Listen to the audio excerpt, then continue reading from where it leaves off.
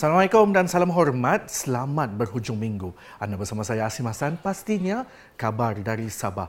Kabar dari Sabah hari ini kita bawakan mengenai suasana pilu masih lagi menyelubungi keluarga mangsa murid tahun 2 Sekolah Rendah Kebangsaan Muhibah Tawau yang terlibat dalam kemalangan baru-baru ini. Rizal Abdullah ada perinciannya.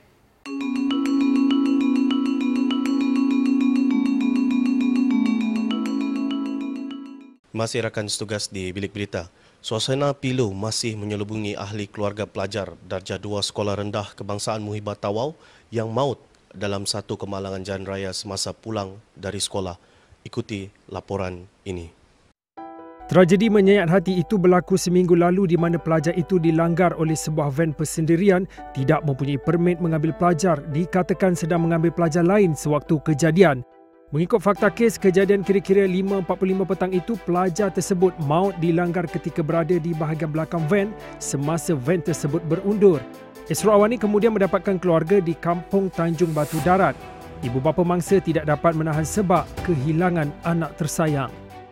Ah, masa tu pukul 6 lebih, saya selalu tunggu dia dekat luar rumah bila dia balik sekolah.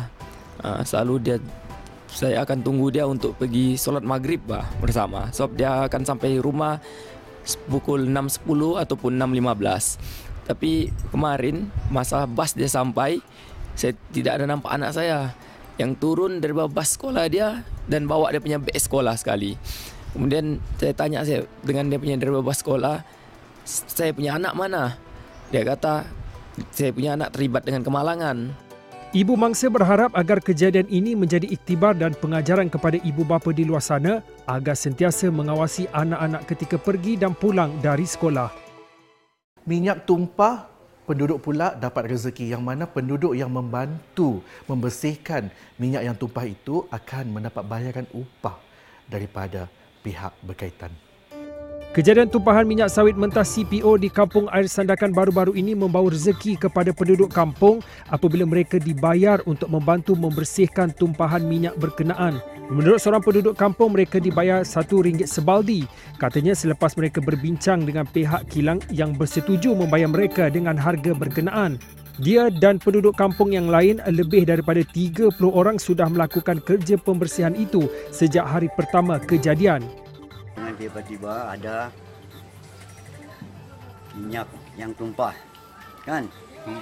tanpa disedari lah hmm. kan? Jadi tiap kami berbincang kan? Hmm. untuk membantu membantu sama yang di kilang ni lah. Hmm. ha? Kami dibayar sebeli satu ringgit. Satu ringgit. Ya. angkat sampai di mana lah. Ya. Sampai di tangki. Ha, sampai di tangki. Satu kali mereka memerangkap minyak itu sebelum mengisinya ke dalam baldi dan diangkat ke daratan. Suasana di situ bagaikan pesta dan penduduk kampung dilihat gembira kerana bakal menerima bayaran atas bantuan mereka.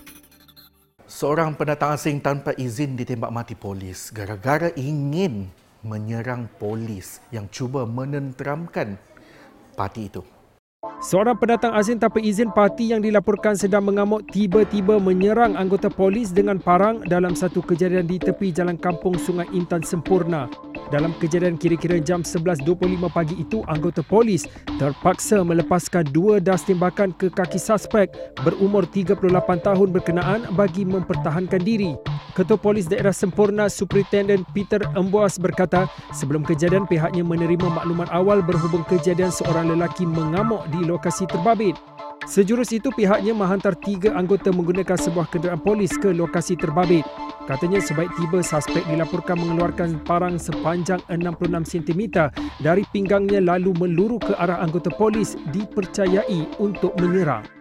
Sekian dahulu kabar dari Sabah untuk hari ini. Selamat berhujung minggu tapi jangan ke mana-mana sebentar saja lagi bersama dengan saya semula dalam kabar dari Sarawak.